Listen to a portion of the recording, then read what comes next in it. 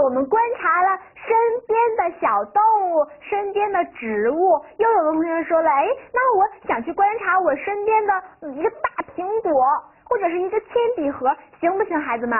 也行。你看，就是一个小苹果。有同学说不会观察，同学，苹果有什么可观察？不就是红红的、圆圆的吗？这是光用眼睛观察，对不对？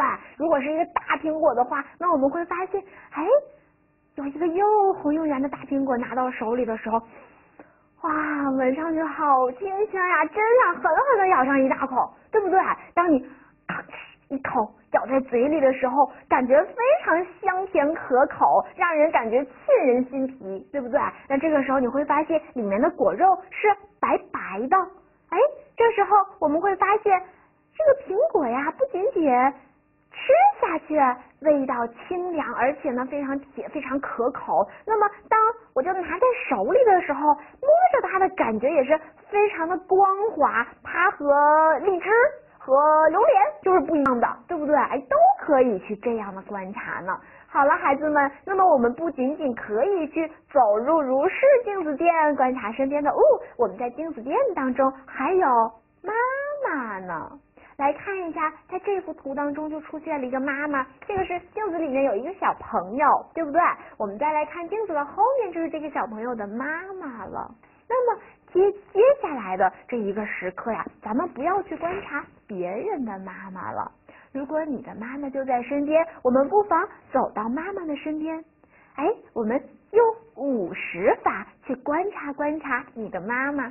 如果妈妈没有在身边，那么你身边有什么人？爸爸、外公外婆、爷爷奶奶、哥哥姐姐、弟弟妹妹，或者是老师就在你的身边，你可以观察糖果老师。那我们用五十法去观察一个人，好吗？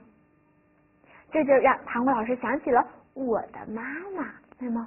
那我我要先去形容一下我的妈妈，我要去回忆。你看，观察并不一定这个人一定要在眼前，他可能是以往给你留下印象深刻的人，我去回忆，对不对？啊，我的妈妈呢，个子要比糖果老师高，她呢很瘦，但是长得却非常漂亮。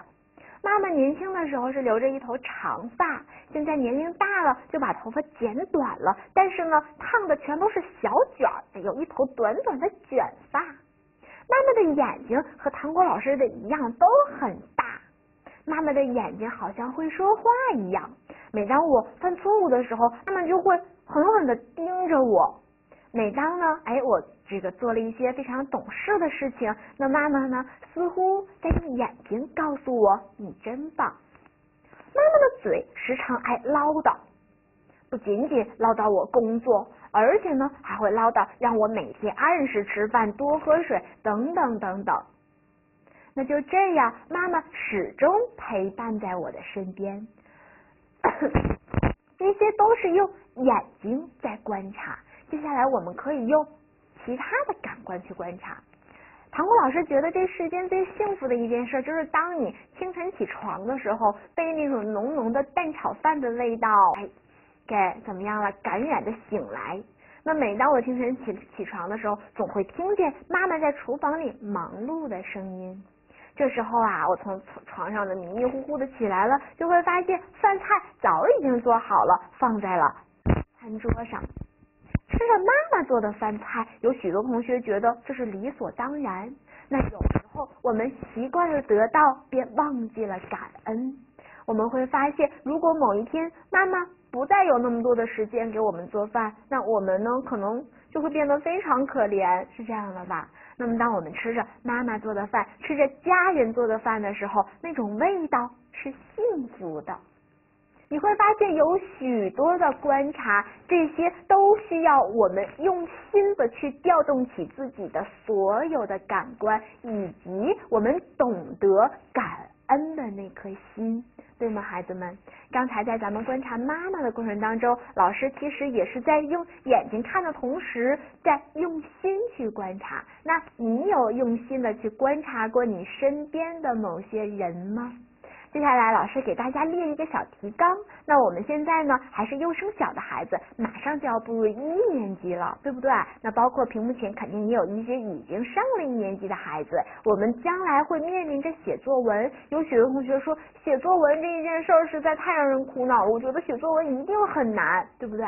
其实大家就会发现，如果你懂得观察，我们知道去发现生活当中的美好，写作文对于我们而言是一件太简单不过的事儿了，对不对？所以我们现在先要表达好，你可以自己去表达，也可以现在呢，哎，根据老师的提纲去表达。看，刚才我们就说了，其实这不仅仅是观察一个人。对，不仅仅是观察妈妈，而是观察一个人，任何的人都行，对不对？那么在观察的时候，我可以先用眼睛，先用眼睛去观察这个人的外貌，嗯，眼睛观察他的外貌。在一个人的外貌中啊，不仅仅有他的头发，有他的身材，有他的眼睛，包括他的鼻子、他嘴巴都可以去观察，对不对？好了，那这个时候呢，我可以用鼻子去闻一闻这个人的味道。有朋友说，这个人有什么味道呀？难道是人味吗？对不对？好了，比如说有的妈妈呢，身上就常年会香香的，对不对，孩子们？那有的妈妈呢，可能总是在厨房做饭，妈妈的身上呢有股油烟味儿，对不对？那我去观察爸爸的时候，爸爸的爸爸如果抽烟，那爸爸身上呢会时常有淡淡的烟草味儿。是不是？我去观我去观察爷爷的时候，爷爷身上的味道也是很独特的，也不一样。每个人身上都有他独特的味道，对不对？那包括嗯蛋蛋炒饭的味道，这是不是属于妈妈的呀？对不对？好了，那么除此之外呢，我还可以用嘴巴去观察，嗯，用嘴巴去观察，我可以用嘴巴去尝一尝这些人给我做的那些饭菜的味道，我可以用嘴巴去感受，哎，他。给我的一些什么呀？美味的食物，这些都象征着他的爱，对不对？那除此之外，我还可以用哎我的手去观察。当我用手去拉起家人的手的时候，可能有的时候那双手有点粗糙，对不对？不是那么细滑，但是我却能够感觉到那一双手给我带来的温度，对不对？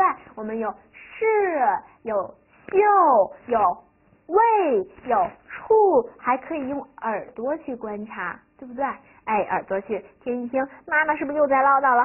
爸爸是不是在表扬我，在鼓励我？等等等等，像这种五十法，我们用五个字去代替，叫做视听嗅味触，对吗？那你现在不妨。快跑到你的家人身边去观察观察他们，观察完之后要跟家人形容一下你观察的成果是怎样的。